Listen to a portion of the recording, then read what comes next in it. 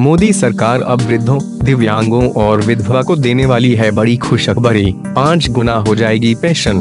2019 के लोकसभा चुनावों से पहले केंद्र की मोदी सरकार ने देश के वृद्धों, दिव्यांगों और विधवा महिलाओं को बड़ा तोहफा देने की तैयारी की है।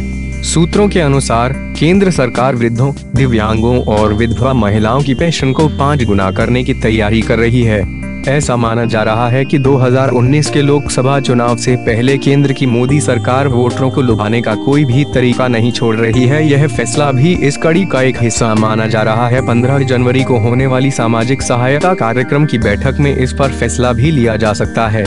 यह बैठक केंद्रीय मंत्री राम कृपाल यादव की अध्यक्षता में होगी। तीन करोड़ लोगों को होगा फ़ायदा। एक सरकारी आंकड़ों के अनुसार, इस समय देश में करीब तीन करोड़ लोगों को पेंशन दी जाती है। इसमें करीब दो दशमलव चार शून्य करोड़ बुज़ुर्ग, साठ लाख विधवाएँ और दस लाख दिव्यांग शामिल हैं।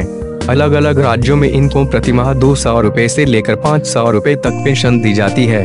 अब सरकार की योजना इन सभी को कम से कम एक हज़ार रूपए की पेंशन देने की योजना है।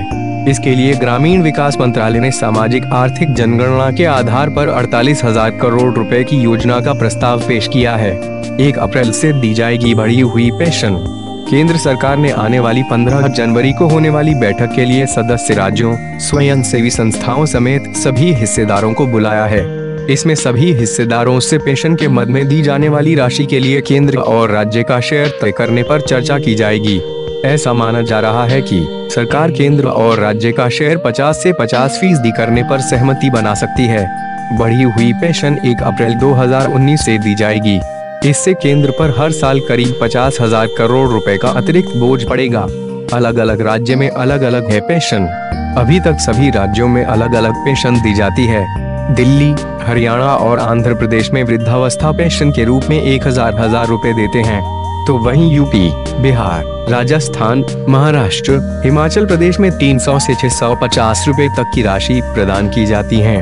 केंद्र की इस योजना से देश के करीब तीन करोड़ लोगों को फ़ायदा होगा।